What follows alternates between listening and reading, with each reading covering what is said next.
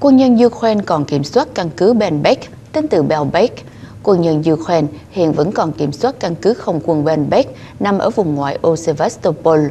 Sáng nay, các quân nhân trong căn cứ đã tập trung chào quốc kỳ như thường lệ. Sau khi chào cờ, các quân nhân đã cử hành một phút mặc niệm để tưởng nhớ người quân nhân đã bị bắn chết khi quân đội Nga và các dân quân tự vệ chiếm một căn cứ quân sự Ukraine ở thủ phủ Simferopol. Một sĩ quan đã đọc chỉ thị của Bộ Quốc phòng Ukraine nói rằng các đơn vị quân đội Ukraine tại Cộng hòa tự trị Crimea có thể dùng vũ khí nếu tính mạng bị đe dọa.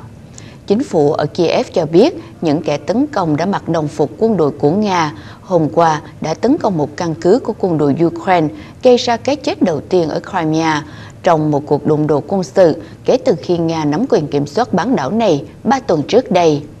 Quân đội Ukraine và Nga đã tránh đối đầu bạo lực với Kiev muốn tránh tạo cho mặt tư khoa một lý do để đánh chiếm các căn cứ của mình ở Crimea.